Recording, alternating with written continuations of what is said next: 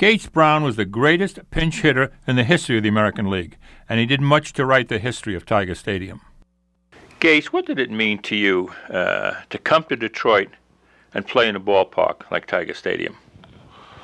Well, Joe, you know, when I was, I would say, incarcerated, I, I read a lot of books about Tiger Stadium, Ty Cobb and Heinie Manush and uh, Hank Greenberg and all of them. And I, knew a lot about the stadium, although I never seen it, but I did a lot of reading after I signed uh, to play for the Tigers. And uh, it, it had a lot of memories, uh, you know, like Ty Cobb, even though he might not have been one of my favorites. I mean, he was a hell of a ball player, and you got to take your hat off to him.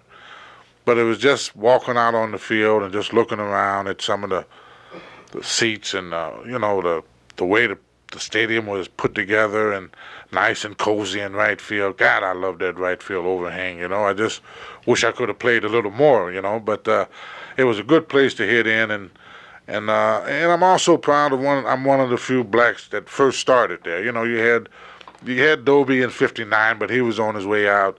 Uh, they said Ozzie Virgil was the first black, but he's a Latino now. And uh, then you had Jake Woods and Billy Bruton, uh, Bubba Morton, and then you know I came along uh, in '63, me and Willie Smith, and you know I was I like to say one of the first five or six blacks that played in Tiger Stadium, and I I will always remember that because, uh, as we both know, you know, maybe the, the Tiger wasn't always the friendliest, but uh, it was home to me.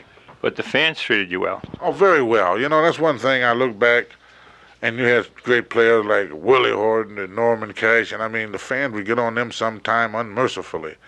And I'd be struggling, you know, and uh, I never heard, really, I never heard a boo or, they just never got on me. I don't know whether they felt sorry for me or or whatever. But uh, you know, sometimes I, I watched him and heard him get on Willie, and I'm saying, how in the hell can he take all that? You know, in Cash, you know, because they they really leaned on him sometimes. But deep down in, they were good fans, and I will always take my hat off to them. I love them. God bless them, because even in my baddest time, they never really got on the Gator. Well, you're a people person. I can tell you that, even from the press box, uh, the way we viewed you. You know, you're the only guy that I think played or was a part of the 68 champions and the 84 champions. First as a player, then as a coach. What does that mean to you? I take pride in that. You know, what I mean, for number one, they haven't had that many. You know, before 68, what was the last one? 1945? Right. All right, 68, and then I was playing, and then in 84, I was coaching. And uh, I take pride in that. Uh, you know, there's not uh, too many ball players that can say that, especially on the Tigers. I think the only other one might have been Dick Tracewski. He was also coaching and playing in '68. But uh, I take pride in, in being, you know, the last two, and it's been what 15, 16 years since you know since they had had the last one in '84. And uh, you know, my dream was always I said, well, Gates, you'll win one playing, you'll win one coaching, and you'll win one managing. But as we all as we all know, the last part didn't work out. But that was in my dreams, really. All right, 68.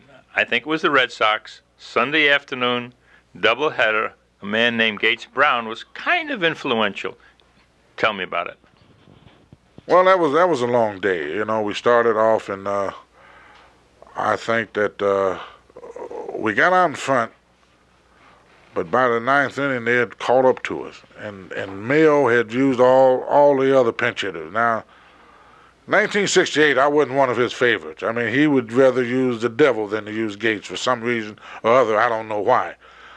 But uh, we get to the 14th inning, bottom of the 14th. He didn't use Mathews, Comer. He didn't use everybody. I was the last one, really. Bottom of the 14th, two outs, nobody on. Uh, I pinched hit, and uh, I got Lee Stange in the hole 2 and 0, Joe. And I stepped out and I said to myself, okay, Gates, be patient, get you a good pitch, and turn it loose. And lo and behold, he threw me a fastball that was tailing. I hit it good, but I didn't know if it was high enough. It was a line drive. And when I seen Hawk Harrelson turn his back on it, I said to myself, well, Gates, this one is over.